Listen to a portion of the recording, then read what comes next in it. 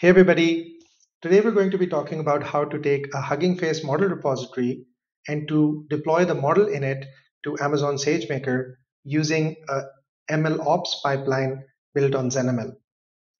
Now you might be wondering, why do I need to put everything into a MLOps pipeline when I have everything um, in Hugging Face already? And if I go to my Hugging Face file system, I can simply click on a few buttons and see a few lines of code that I can copy paste and run locally to deploy my model. Well, the reason is that this only happens one time and this is not a one-time process. You're going to have many models that will be trained on different data artifacts with different hyperparameters and you want to track all of that in one central place so you can reproduce uh, reliably that model deployment if needed, if something goes wrong. And this is really the essence of MLOps that you want to take something which is a one time process and put it in a repeatable manner inside a pipeline so you can do it again and again. And it's sort of not running just on your machine, but somewhere centrally and is tracking everything. So that's the value that ZenML brings to this entire process. Let's go through the process overview.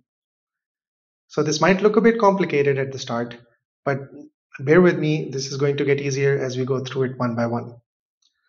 First, we start with our feature engineering pipeline. The feature engineering pipeline simply takes your data, tokenizes it, and creates a tokenized data with some pre-processing. This tokenized data set is put into an artifact store each time the feature engineering pipeline is run. So every time you run this pipeline, you create a new version of your data set. This is important because you want to track all the versions of your data that are um, that are being produced. ZenML takes care of this artifact storage. This can be an S3 bucket. This can be a local file system. But the important thing is that this is being tracked in these marked versions. Then we move on to the training pipeline. This takes a version of the dataset that you produced in the previous pipeline and trains a model on it. It then takes the model and the tokenizer and pushes them to Hugging Face, creating a commit on the Hugging Face repository and tracking all of that metadata into one central place, which we call the ZenML model control plane. The ZenML model control plane is the thing that binds everything together. It is a feature of ZenML which allows you to create a notion of a model and to put all the related artifacts, the data artifacts, the model artifacts, into one singular box. So every time you look at it, you can see exactly how it was trained and what pipelines ran and where it's deployed. Of course, every time you run a training pipeline, this will again produce more and more versions, and you might have many versions at the end of your experiments. And this is where you go into your promotion pipeline.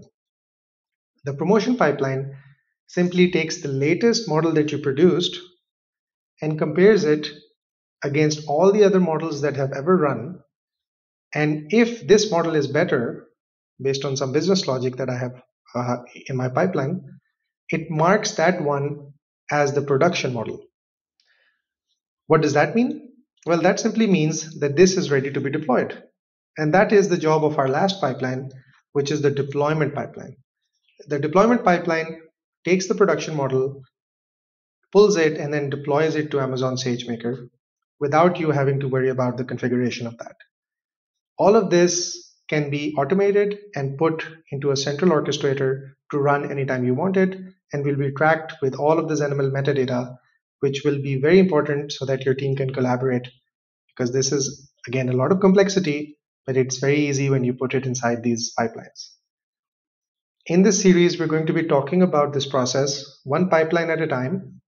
And I hope you join me in this tutorial so that we can deep dive and learn more about MLOps with ZenML. See you in the next video.